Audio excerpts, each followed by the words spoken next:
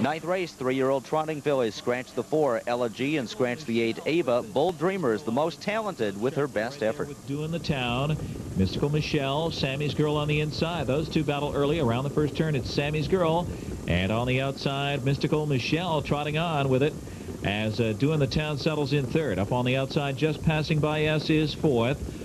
Heartland Classic got away in the fifth spot. Starlit Dream is sixth. Bold Dreamer is seventh.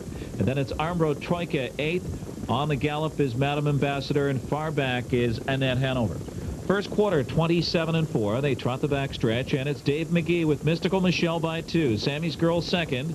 Doing the Town is third. Heartland Classic is fourth. Just passing by us is fifth. Here comes Pierce with Starlit Dream. Underway with Bold Dreamer. And then comes Armbro Troika. Then it's far back to Annette Hanover. And then comes Big Blue Kitten, who made a break, and is far back Madam Ambassador way back there.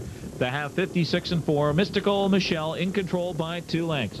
Sammy's Girl with a perfect trip, and they're on to the far turn. Drew in the town is third. Saving ground is uh, Heartland Classic in the fourth spot. That's Starlit Dream on the outside fifth. Campbell trying to get into it with Bold Dreamer to the outside. Just passing by S towards the rail. Next comes Armbro Troika. And now Donald DuPont pulls the pocket with Sammy's Girl and pounces on Mystical Michelle. Right there on the outside as they turn for home is doing the town. A threat now for Luc Ouellette. She has trot 126 and 2. They're in the stretch. Sammy's girl put to a full out drive. Clear and driving at her is doing the town. And Luc Ouellette, and that one is drawing clear and is in hand here. Bold Dreamer kicks in for Campbell into the second spot. Down to the wire. It's doing the town.